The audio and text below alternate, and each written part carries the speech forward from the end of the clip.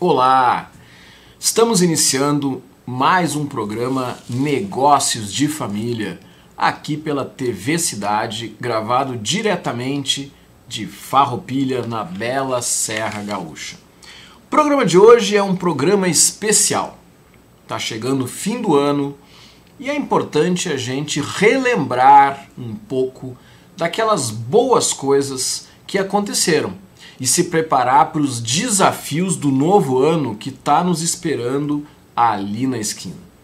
Então nós selecionamos para você algumas das entrevistas mais interessantes onde pessoas estiveram aqui conosco, contaram histórias, como superaram desafios, falaram dos seus negócios e vamos relembrar alguns destes momentos que contribuíram certamente para as nossas reflexões ao longo de 2022. Então eu te convido, vamos assistir alguns dos melhores momentos deste ano de 2022 aqui no programa Negócios de Família. Muitas vezes eu escuto de alguns clientes e alguns empresários de empresas familiares: não, mas a gente não tem um grande faturamento, nós somos pequenos, então não precisa ainda se preocupar com isso. Não, mas eu ainda sou jovem, ainda tenho aí meus 60 anos, eu acho que eu ainda vou trabalhar aqui na empresa mais uns 20 anos, depois que eu vou começar a passar para os filhos. Só que é justamente na hora em que se é pequeno, que ainda não se tem um tamanho muito grande, né? Que é o momento de se começar a estruturar as coisas. E ninguém sabe, infelizmente, né, doutor Giovanni, quando é que nós vamos sair deste plano e ir para outro plano. Quer dizer, pode ser amanhã, pode ser daqui a cinco minutos, pode ser daqui a 50 anos, ninguém sabe. E então não tem como fazer uma previsão de quando é que pode acontecer um problema mais sério com a nossa vida que vai impactar na organização. Então não lhe parece que um trabalho preventivo de estruturação dessas questões de governança, de protocolo de família, é um caminho que qualquer empresa familiar precisa fazer, independente de ser pequena, de ser média, de ser grande, independente dos seus sócios serem jovens ou não? Rogério, mais uma vez, excelente observação. Aliás, fruto da sua experiência, né, larguíssima aqui, e que é interessante, eu até costumo dizer, tem questões, é, costumo brincar até com os alunos, né, eu falei assim, os livros têm vários aspectos teóricos de fundamental importância, mas existem questões que só o tempo vai lhe ensinar, só o dia a dia, só a prática. E tu disseste tudo. É interessante, eu costumo fazer uma analogia assim para a gente tratar dessas questões. Será que só é quando eu estiver grande que eu tenho que pensar isso, aquilo, outro? Eu sempre digo o seguinte: quando a gente se depara com diante de algo e que a gente vê aquilo é, tomar uma dimensão maior, a ideia é que a gente queira crescer e não inchar. Né? Fazer uma pequena é, diferenciação. Quando a gente fala de inchar, né, algo inchou, nem sempre o aumento de tamanho significa algo saudável. Principalmente se a gente olhar para o nosso corpo humano, se você bate em algum lugar, tem alguma lesão que ela pode até inchar. Né? Fazendo um comparativo pode ser simples, mas vai refletir bem o que eu quero dizer. Quando a gente fala de crescimento, é algo mais natural. Tudo parte da ideia de que está se crescendo de forma ajustada. Rogério, é exatamente isso. Eu trago isso para o universo empresarial. Olhar para uma empresa, e é muito comum isso, principalmente existem situações em que o empresário é, tem, vivencia rápido crescimento econômico, às vezes por um determinado momento da economia, por ter encontrado efetivamente um nicho, nicho de negócio que impulsiona, alavanca e, de repente, ele faz com que aquele que há pouco tempo atrás tinha um faturamento baixo comece a crescer. Só que aí é que está a questão. Muitas vezes, nesse rápido crescimento econômico, que a pessoa vai sendo muitas vezes atropelada por temas que deveria ter sido pensado antes. E aí eu venho exatamente no ponto que tu colocaste. Pensar nisso, protocolo familiar um documento tão importante. Olha, se todas as empresas, todas as famílias né, conhecessem desse trabalho, desse documento e o papel que ele detém no seio das, é, das empresas familiares, passariam a olhar com muito mais carinho para esse tipo de, de relação, para esse tipo de estruturação. Mas vamos lá. Quando a gente fala também em empresas familiares, né, grande parte das empresas do Brasil elas são familiares, né? Elas têm essa é, origem, né? Essa característica. E aí é que está. A melhor, o melhor momento para a gente pensar nisso, como tu bem disseste, é quando está a informação, quando as pessoas estão mais abertas exatamente para se falar no novo, para se falar, não é nem no novo, mas para se falar em temas que daqui a pouco com o tempo ela fica mais constrangida em dizer: vamos lá, tu citaste aqui, ó, em determinado momento um sócio vem a faltar. Eu que lido com isso na prática, muitas vezes quando a gente entra nesse tema, muitos sócios dizem, ah, eu não quero falar sobre isso, mas precisa falar. Precisa. Precisamos pensar na sucessão. E aí quando a gente traz esse debate, esse tema no início, tudo se torna mais fácil. Mas também, né, para quem está nos ouvindo, vai pensar assim, puxa vida, Rogério, mas só agora que eu estou tendo a oportunidade de tomar conhecimento desse tema e eu já estou numa idade mais avançada, eu já estou pensando em parar. Será que para mim está tarde também? No meu caso, está tarde? Não. Organização, quanto mais a gente pensar nisso, enquanto você é sócio, está respirando, está ativamente, está vivenciando a realidade da sua empresa, é tempo de se pensar. Mas, como foi colocado, o quanto antes você pensar lá na frente, você evita problemas. E problemas, e aí eu já encerrando aqui esse ponto, problemas que talvez quando o sócio pensou o seu negócio, ele não queria ver um filho brigando com outro filho, ele não queria ver a sua relação societária em conflito com o outro. E essas questões podem ser bem resolvidas, bem pensadas, trabalhadas, se forem analisadas antes. E aí esse é o nosso trabalho, pensar antes, caminhar com a família, estruturar para quando seguirem situações lá na frente, aquilo já foi pensado antes. E aí não tem tantos problemas no decorrer da atividade. Se numa organização não familiar já existe muitas vezes conflito entre sócios, conflito entre os níveis hierárquicos, é mais grave quando o teu sócio é teu irmão, é teu pai, ou o teu chefe é o teu sobrinho, isso. enfim. Então isso traz uma dinâmica mais complexa. Sem dúvida. É, nós temos assim, temos tido algumas uh, experiências nesse segmento, né? E uh, aquilo que nós, você comentava e a gente comentava anteriormente, nós temos empresas que realmente começam a uh, vão seguindo, começam a crescer e tal. Chega um ponto que começa a, haver conflitos entre irmãos, né? Ou primos ou especialmente no caso de irmãos, nós estamos numa fase que muitos irmãos estão deixando o negócio e estão passando para os seus filhos. E aí começa a questão é, dos atritos, porque aí entra a relação de poder, hum. né? A relação de poder.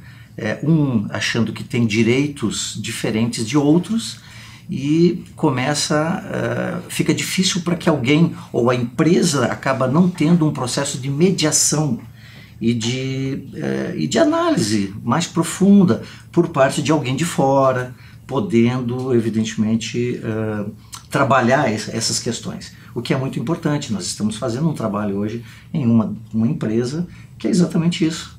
Dizer, está existindo uma separação de empresa e realmente o, começa a questão de conflitos. Quem fica com o quê? Não, mas aqui não dá porque isso. Enfim, é uma situação muito complexa, vamos assim dizer. É. Mas tudo tem solução, evidentemente, tudo tem solução. Conta para nós um pouco quem é a Ana Paula. Muito obrigada, Rogério. Para quem não me conhece, a Ana Paula, eu sou a fundadora do Instituto Florescer de Desenvolvimento que é uma empresa social sem fins lucrativos que atua justamente no desenvolvimento de projetos sociais que contribuem com a nossa comunidade para o desenvolvimento ambiental, social, econômico, impactando positivamente a vida das pessoas. Mas não é só isso. Eu também sou consultora empresarial, atuo com desenvolvimento humano e profissional, sou escritora, palestrante e apresentadora do programa Empreendedoras pelo Mundo, aqui da TV Cidade de Farroupilha. A questão das novas tecnologias, a gente está vendo hoje se falar em startups, está se falando de blockchain, de NFT. Esse tipo de novo conceito, ele também dialoga com, com marcas, com patentes? Tu enxergas que também é uma vantagem para uma startup em desenvolvimento se preocupar com esse tipo de situação? Sem dúvida nenhuma, sem dúvida. A gente tem hoje planos especiais para startups, né? Porque sabemos que a startup hoje tem um orçamento reduzido para trabalhar tanto a proteção de propriedade intelectual quanto o desenvolvimento do seu próprio negócio. Então a gente tem trabalhos especiais são desenvolvidos especialmente para startups. Uh, hoje no nosso portfólio de clientes a gente tem atendido algumas algumas dessas empresas uh, que são bem bem reconhecidas no país hoje. Temos, já, já tivemos no, no, passado, um pouco antes da pandemia, depois da pandemia o mercado acabou mudando um pouco, mas já, já tivemos uma unidade dentro da CAT em Florianópolis, que é um centro extremamente reconhecido de startups no Brasil. Uh, então, a gente tem sim essa proximidade, é extremamente relevante. A propriedade intelectual tem tudo a ver com blockchain, tem tudo a ver com metaverso, tem tudo a ver com todas as tecnologias que têm surgido hoje, porque é justamente onde se protege, né? onde o inventor garante a sua, a sua, o seu resguardo intelectual, a sua autoria, Uh, e, e, a propriedade intelectual está, está, está, sempre conversando com novas tecnologias, né? até eu conversando com o cliente hoje pela manhã, a gente sempre identifica que muitas empresas é muito fácil usar para a empresa usar que está inovando hoje, né? É quase que virou um jargão, né? Todos utilizam, ah, estamos inovando, somos uma empresa inovadora, mas quando vai se olhar na prática, efetivamente, o número de patentes que ele possui é muito pequeno, o número de proteção intelectual também não corresponde àquela fala. Então, quando se fala em inovação, quando se fala em desenvolvimento de produtos, a propriedade intelectual é o que vai dar garantia para essa roda poder girar, para esse ciclo né, de inovação, de criação de produtos poder seguir. Então, não adianta só falar em inovação né, e dizer que está sendo, sendo aplicada, mas sim também protegê-la. De nada adianta criar muitas coisas e não fazer, fazer valer o seu direito depois frente à concorrência. Aqui na Serra Gaúcha, claro, no, no mundo inteiro, a maior parte das empresas são empresas familiares. A gente uhum. tem é, dados que mais de 80% em nível mundial das empresas são familiares. Uhum. Mas quando a gente está aqui nessa região tão rica, tão próspera que é a Serra Gaúcha, isso ainda é maior. Uhum. Né? Algo em torno de 90%, 95% das empresas são empresas familiares. E uma das coisas que a gente vê muitas vezes é uma dificuldade de separar o negócio da família. Uhum. Ou seja, em muitos casos falta aquela, aquele olhar profissional. Perfeito. Tem uma coisa muito boa na empresa familiar que é o fato da, da, da, família cuidar como se fosse muitas vezes mais um ente da própria família. E isso é muito bacana. Mas por outro lado, existe em muitos casos uma mistura uhum. entre o ambiente de família e o ambiente da empresa. Muitas vezes a gente percebe pessoas que estão dentro da empresa por serem familiares e não necessariamente por terem competências. Uhum. Quando tu presta um serviço através do impacto positivo para empresas familiares, tu entende que, por exemplo, ao fazer um cliente oculto, até quero te pedir para tu explicar um pouco o que é o cliente oculto para os nossos espectadores entenderem. Tu estás colaborando para o processo de gestão de uma empresa familiar? Sem dúvida, né, Rogério? É, o que, que a gente percebeu muito aqui no decorrer do nosso trabalho. Hoje a Impacto Positivo, ela, tá, ela está com 16 anos, rumo aos 17, né? Anos de negócio já. E no decorrer desses anos, é, a gente observou, nosso negócio tem algumas técnicas e, e, e ferramentas tecnológicas bem avançadas, né? Então é um processo cultural que, que vai acontecendo dentro dessas empresas para uh, ah, absorver entender se aquilo faz sentido ou não para o negócio, se aquilo acaba atendendo ou não uma dor, né? E até para o próprio empresário, o gestor da empresa, entender se aquilo é um custo ou é um investimento. Então a gente vivenciou muito desse processo, né? E na construção desse processo, da nossa história, dos nossos serviços, a gente se enquadra dentro da, da, da, da, da empresa no eixo comer mais comercial e marketing, que está vinculado aos clientes. Então, uh, uh, indo ao encontro da tua pergunta, Rogério, a gente tem, o que, que a gente percebeu nesse período, né?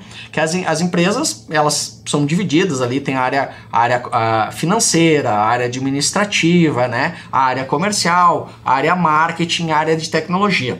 Então é muito bacana tu ver o movimento da, do crescimento uh, de maturidade de gestão dessas empresas que acontecem diferente nessas respectivas áreas dentro de uma mesma empresa. Então, em determinados momentos aí que nós passamos, uh, o foco estava muito direcionado para uma evolução, uma maturidade nessa empresa familiar na área financeira então ela entendeu que naquele momento ela precisava fazer alguns movimentos na área da profissionalização financeira, da, dos centros de custo, dos profissionais, né? De tu ter mentorias para construir o, o, o, esse raciocínio com uh, do, dos, dos herdeiros, dos sócios e assim por diante, nesse trabalho, que acontece e isso acaba sendo constante. Depois, em um determinado momento, foi na área produtiva, uh, profissionalizar uh, essa área produtiva, sistematizar, criar processos. Então, ela veio profissionalizando e aumentando a sua capacidade produtiva, a sua eficiência nesse sentido. E aí ela foi passando foi passando área a área. Uhum. E uh, algumas empresas um pouco antes, outras um pouco depois, em algum momento elas chegam na área comercial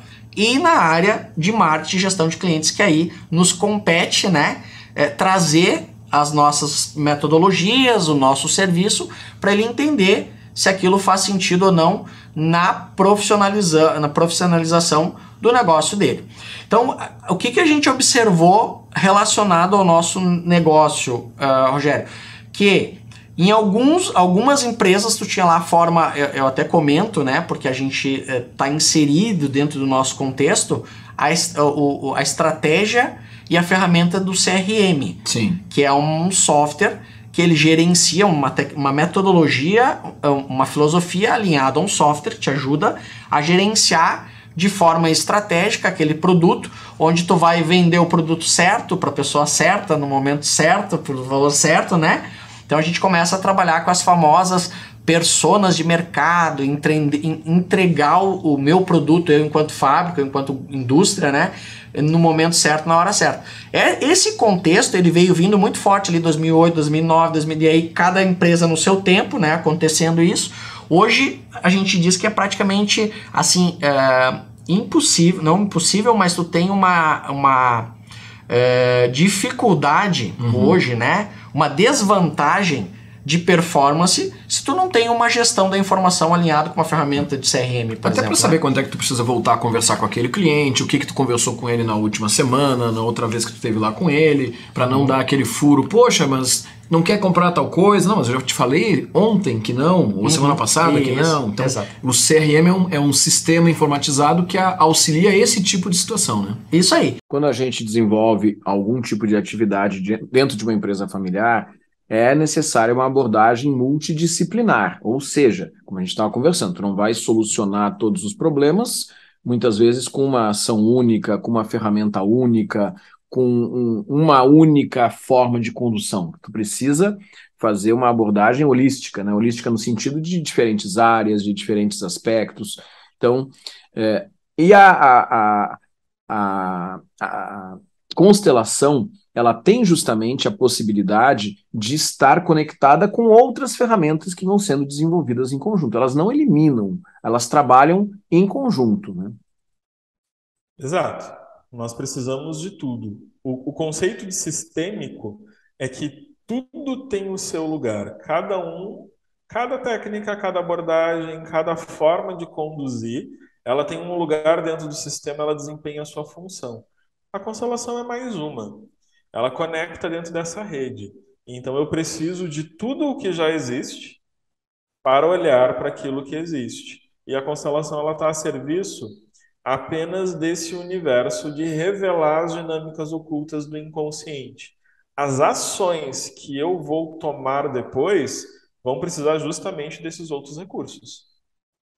Principalmente no campo da gestão, da parte efetiva da administração, que envolve planejamento, que envolve revisão das práticas, tudo isso vai precisar estar muito coordenado junto com o processo sistêmico. Jonas, a gente está se aproximando do final do programa e eu muito feliz aí de ter tido essa oportunidade de conversar contigo sobre constelação, tu que és uma das autoridades aqui no estado do Rio Grande do Sul que trata desse tema, colaborando tanto com a área pública como a área privada auxiliando empresas, famílias e organizações de um modo geral. Eu quero te pedir para, nesses minutos finais, tu deixares uma mensagem aí para os telespectadores que estão nos acompanhando agora. Com muito prazer, Rogério. Primeiro eu quero agradecer a ti pelo convite, pela nossa parceria, agradecer pelo teu trabalho dedicado a esse nicho que precisa tanto de um olhar nosso. Nas minhas empresas familiares, elas sustentam grande parte da nossa economia, do nosso país. Uh, e a todos que estão nos assistindo, eu queria fazer um pedido para que vocês se abram, se abram para entrar na solução ou na busca da solução daquilo que vocês não estão encontrando. Todos nós vamos ter questões, assuntos, uh, temas que nós não conseguimos solucionar sozinhos. E nós não precisamos solucionar sozinhos. Essa é a grande perspectiva desse trabalho, a gente realmente contribuir. Então, nós contribuímos uns com os outros quando nós nos abrimos para essa contribuição. Então, para quem está com qualquer questão que não consegue encontrar a solução sozinha, busque uma alternativa. Não deixe chegar num ponto onde fique numa dificuldade muito grande de ser revertida. Essa que é a minha experiência dentro do campo, tanto da gestão pública quanto da consultoria com as empresas, e principalmente na questão da advocacia, que nós somos chamados normalmente só quando já pegou fogo, é o que eu diria. As práticas preventivas, elas economizam dinheiro, elas economizam principalmente saúde, minha gente. Saúde. Então, o quanto antes eu perceber que há algo que não funciona, eu busque alternativas para isso. Temos uma rede grande para isso. Fico muito grato por esse espaço, Rogério, e sabes que podes contar comigo para sempre que tu precisares. Rafael, é, a gente está diante de um processo de sucessão que teve êxito, que é o caso do teu negócio, que é o caso da organização onde tu estás. E eu cheguei a conhecer teu pai ainda quando estava à frente dos negócios, né? Teu pai, é, infelizmente, não está mais entre nós, mas eu queria te pedir para tu comentar um pouco do processo de sucessão dentro da tua organização. Como é que foi a preparação do Rafael para estar nessa cadeira onde está hoje, que é o principal executivo do grupo econômico de investimentos que vocês têm hoje? É, eu vou retomar um pouquinho até as, esses pilares e tentar adequar essa, essa, esse conceito a, ao meu, meu né, desenvolvimento. Prime... Ah, outra questão que aí eu vou complementar com, com, com, com uh, no caso específico do meu pai, é a oportunidade. Né? Eu uhum. acho que o, o, a pessoa que, que está abrindo o caminho para a sucessão ela tem que oportunizar, né? descentralizar, dar oportunidades, uh, dar, dar a orientação, o caminho, fazer, a, fazer o, a, o sucessor experimentar. Então, eu, eu, eu, felizmente, dentro de todo o período, desde muito jovem, eu sempre fui, uh, tive essa oportunidade, né? tive essa, essa, essa conduta do meu pai em poder uh, me oportunizar experiências e, da minha parte, eu acho que, de certa forma, tive esses elementos do, do, desse tripé que eu comentei, que eu tive sempre muito interesse sobre tudo, né, sobre todas as coisas. Às vezes, quando eu era jovem, o meu interesse era, era maior do que a minha capacidade de compreensão ainda de algumas uhum. coisas. Eu lembro da, de certas coisas, puxa, eu não entendia determinadas coisas, mas aquele interesse fazia com que uh, eu buscasse o conhecimento, a informação, enfim, e então eu acho que esse interesse era uma era uma questão intrínseca à minha pessoa. Uh, essa vocação de empreender, de assumir riscos, de de buscar novidades, de propor, uh, também é uma característica que eu tinha muito forte, tenho muito uhum. forte, né? E a formação como ferramenta. Então eu busquei estudar também, uh, fiz diferentes faculdades uh, uh, buscando essa formação, porque é um, é um suporte importante. Então, acho que juntando esses elementos, a oportunidade, esse tripé do sucesso do, do da pessoa que está sucedendo, é, é, a gente consegue estabelecer no curso da, da, da, do crescimento, desenvolvimento pessoal da empresa, ferramentas muito sólidas a respeito de como lidar com as questões no curso do tempo. Então, é certo que muitos erros né, ah, aconteceram, muitos acertos, mas quando se dá dois passos para trás e se dá cinco para frente, o resultado sempre vai sendo positivo. E eu acho que nesse contexto que a gente conseguiu uh, ter hoje uma empresa bastante sólida e, e com o desafio, né, inclusive, de como vai ser daqui para frente. Muitas vezes nessa troca de gerações existe um risco da perda da essência, ou seja, aquilo que o fundador pensou como objetivo, como construção. A empresa hoje precisa ter, a gente fala muito isso, um propósito. E talvez lá atrás ela tenha tido um propósito e no processo de transição de gerações, um dos desafios é manter esse propósito vivo. Claro, a gente uhum. pode enxergar empresas que pivotam, que se transformam, mas quando existe um propósito por trás, é mais fácil de se ultrapassar essa barreira do pai para o filho, do filho para o neto. Como é que tu vê isso? Qualquer negócio, desde um um comércio pequeno dentro de uma determinada vila, de um determinado bairro, até a grande empresa estruturada, familiar ou não, sem propósito ela morre. A gente tem percebido que empresas estão se reinventando à medida que elas olham para o seu passado e redescobrem o seu propósito. Então, para mim, o propósito é o grande óleo que faz com que esse motor das gerações dentro das empresas funcione bem a, geração que iniciou o negócio, ela montou aquilo por uma necessidade, logicamente, uma necessidade inicial uh, de, sustenta, de se sustentar, de, de se manter, mas não foi o, o, o objetivo, foi o meio para atingir um objetivo de poder ajudar as pessoas, poder criar uh, uma cultura, poder evoluir um determinado local onde essa empresa está inserida culturalmente, industrialmente. Então, para mim, o propósito é o um entendimento da paixão, o um entendimento do que eu faço bem, o um entendimento de como aquilo pode ajudar o outro e o entendimento de que ganhar dinheiro é importante, mas ele tem que ser um, meio e não um fim. E tudo isso converge para um centro que é o propósito que vai fazer com que um, um grande executivo já na faixa dos 50, 60 anos possa transitar suas ideias para os trainees que hoje estão começando nas empresas com 20, 25 anos. O propósito é o que liga as pessoas. E propósito traz valor. Quais são os valores? O valor migra desde a primeira geração, aquele propósito, e vai descendo, e vai criando uma cascata até a geração que está entrando.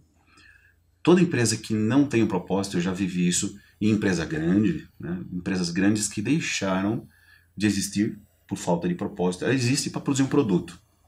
Mas peraí, esse seu produto ele traz que finalidade uhum. para o consumidor, para o cliente final? Ah, esse é um produto para tomar banho. Ou é um produto para criar conforto, saúde e beleza? Então, à medida que a gente olha as coisas sem propósito, não faz sentido.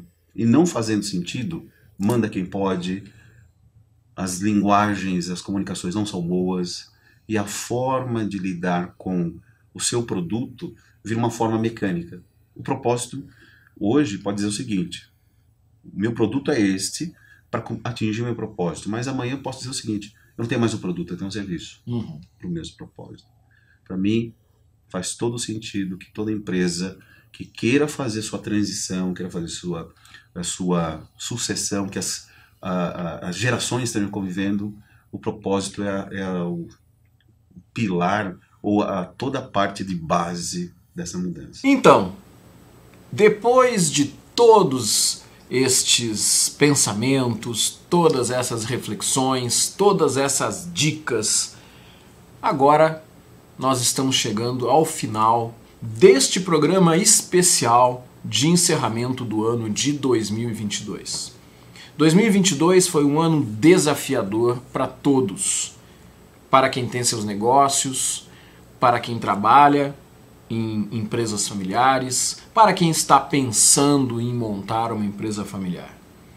Novos desafios vão nos esperar ali em 2023, novas dificuldades.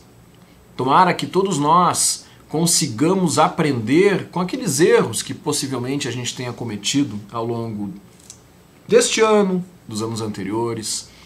É inevitável que dentro dos nossos negócios nós vamos cometer algum outro erro, mas que seja um erro novo, que a gente possa aprender com os erros do passado e quem sabe aproveitar as dicas de quem esteve aqui no nosso programa, trazendo sua experiência, trazendo sua vivência para que sirva de inspiração para tudo aquilo que vem depois.